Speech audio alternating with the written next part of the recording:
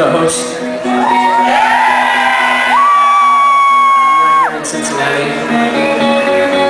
Thanks everybody for coming out today. Appreciate it.